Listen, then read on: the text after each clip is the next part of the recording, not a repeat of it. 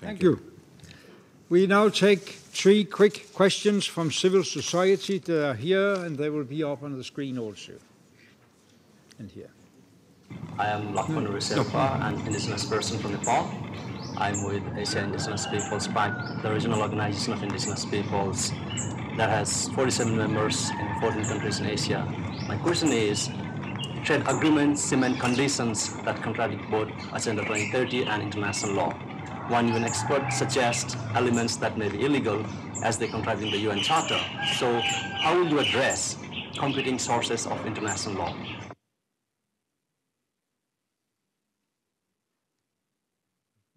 I'm Her Royal Highness Princess Djigma from Burkina Faso, CEO of Abze Solar SA and the leader of the initiative Marmalade for Sustainable Energy. In several countries of Africa, 90% of urban and rural workers have informal jobs. On average, for all of Africa, 84% of women are informally employed as compared to 63% of men. As a new Secretary General, how would you empower informal workers? I thank you.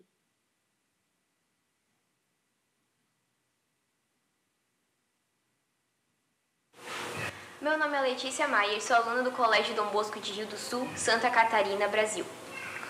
Um dos principais objetivos da Organização das Nações Unidas é zelar pela segurança e promover os direitos humanos, sendo assim que medidas serão tomadas diante das inúmeras denúncias de violência sexual por parte dos soldados integrantes das missões de paz?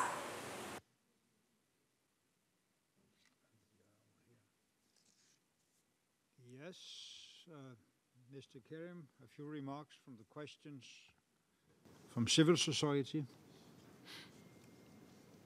Thank you, Mr. President. Trade agreements are definitely part of our life and our practice in today's world and part of globalization. So we should not regard them as a negative phenomenon and uh, they do not jeopardize our agenda. On the contrary,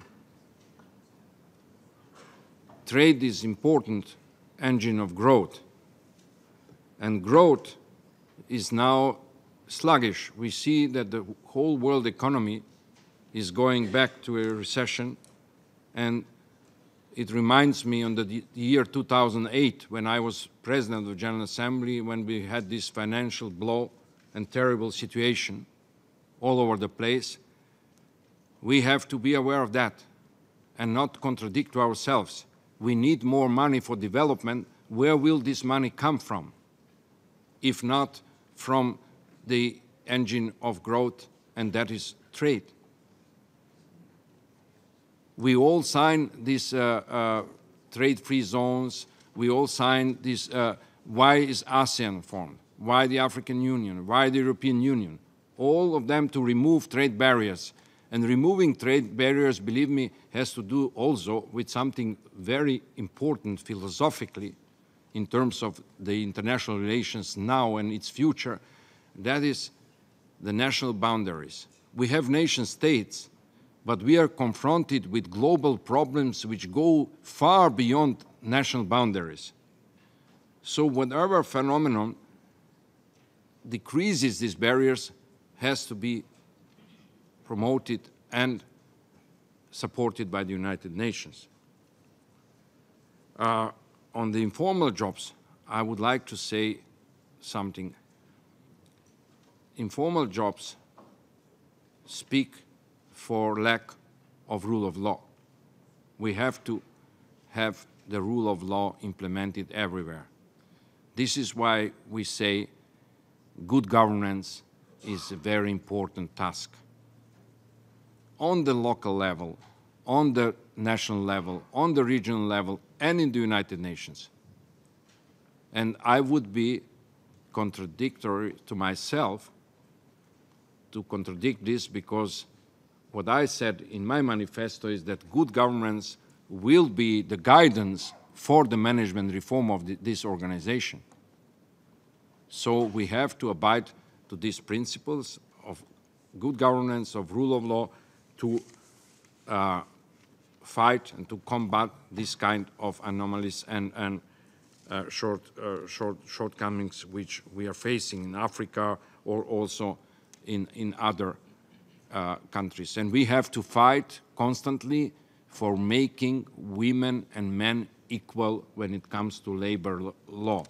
It is a shame for this world in which we live in, in a globalized world of ICTs, of uh, technology progress, that uh, our law, labor of law is still more oriented towards the past than to, towards the present and the future. And this is where I would be uh, a fighter without a compromise for abolishing this kind of uh, phenomena.